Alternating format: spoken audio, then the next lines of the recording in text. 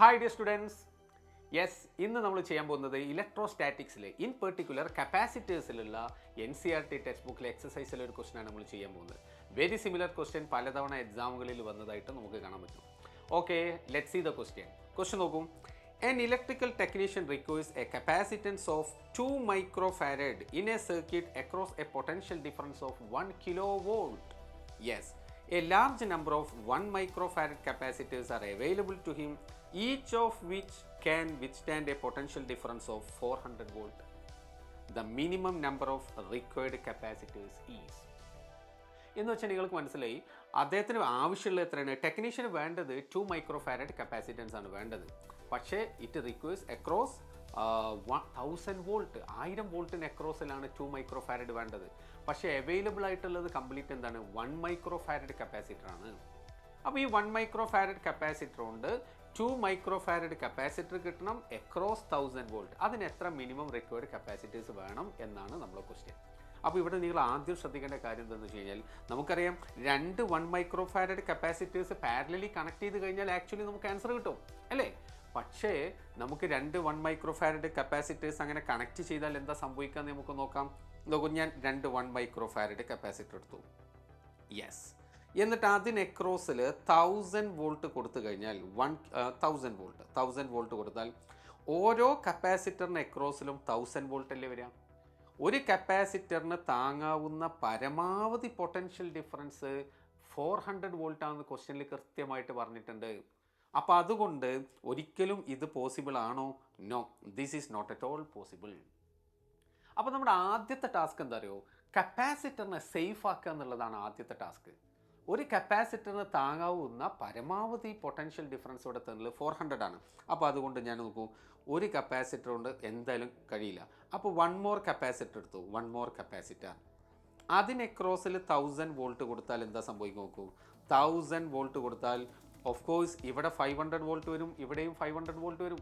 അപ്പോഴും സേഫ് ആയിട്ടുണ്ടോ? ഇല്ല. കാരണം ഒരാൾക്ക് താങ്ങാവുന്നത് പരമാവധി ഫോർ ഹൺഡ്രഡ് വോൾട്ടാണ് അപ്പോൾ നമുക്ക് എന്ത് ചെയ്യാം? ഒരു കപ്പാസിറ്ററും കൂടെ ഞാൻ അവിടെ സീരീസിലി കണക്ട് ചെയ്തു.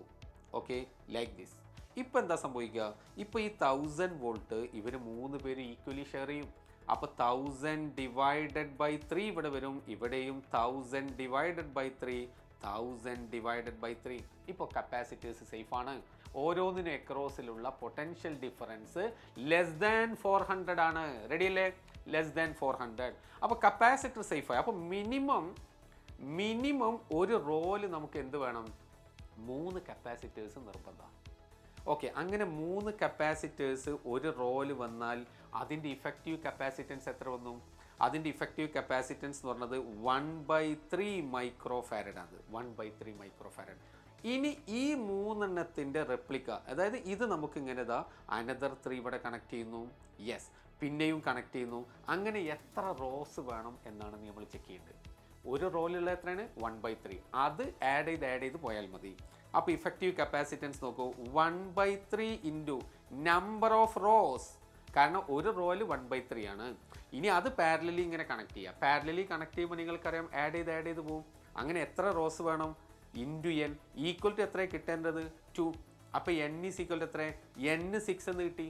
സിക്സ് എന്ന് പറഞ്ഞാൽ നമ്പർ ഓഫ് കപ്പാസിറ്റേഴ്സ് അല്ല number of rows number of rows ഒരു റോയിലുള്ളത് എത്രയാണ്? ത്രീ ഒരു റോയിലുള്ളത് ത്രീ ആണ്. മനസ്സിലായോ? ഒരു റോയിൽ ത്രീ ആണ്. അങ്ങനത്തെ എത്ര റോ ഉണ്ട്? സിക്സ് സിക്സ് റോസ് അപ്പോൾ നമുക്ക് എങ്ങനെ കിട്ടും നോക്കൂ.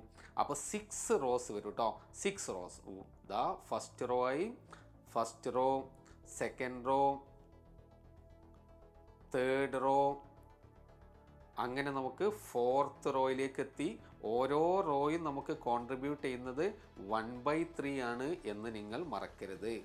ഇതായിരിക്കും നമ്മുടെ ഒരു രീതി. ഇതാ ലൈക്ക് ദിസ് ഇങ്ങനെ കണക്ട് ചെയ്ത് കഴിഞ്ഞാൽ യെസ് ഇത് തൗസൻഡ് വോൾട്ടിന് അക്രോസിൽ കണക്ട് ചെയ്താൽ things are okay thousand volt yes അല്ലേ one two three four five six yes ഒന്നത്ര one by three ആ one by three one by three one by three one by three അങ്ങനെ ആറ്. അപ്പോൾ one by three into six two microfarad അപ്പോൾ നമുക്ക് minimum required capacities എത്ര?